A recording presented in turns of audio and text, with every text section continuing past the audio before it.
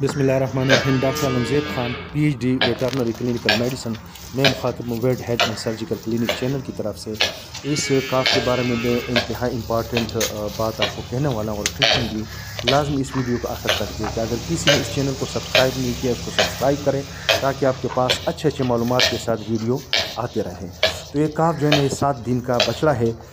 इनकी complaint history में ये है कि ये जब दूध पी लेता है तो दूध के बाद जो ना कम से कम एक से दो मिनट तक देना, ये इस तरह कांसता रहता है। तो असल में मैं बताऊँ कि इसकी रीज़न क्या हो सकती है, जो है तो इसमें यह है कि जब ये बच्चा पैदा होता है, या बच्चे पैदा होते हैं बच्चे पैदा होते हैं तो उस टाइम लोग इनका केयर नहीं करते, क्योंकि वो गंद वगैरह जो होती है, इसके मुँह में, नाक में होते हैं तो वो प्रॉपरली उसकी सफ़ाई नहीं करते। इसको कम से कम पहले तो उल्टा करके इसके जिसम से जितना गंद वगैरह इसके अंदर होता है, वो निकल जाता है तो ये बेहतरीन तरीका है। उसके साथ फिर दूसरा, आप ट्रीटमेंट क्या करेंगे कि इसको एविल की इंजेक्शन पाँच सी सी रोज़ाना लगाए, कम से कम तीन से पाँच दिन तक रोज़ाना आप लगाते जाएँ, ठीक है?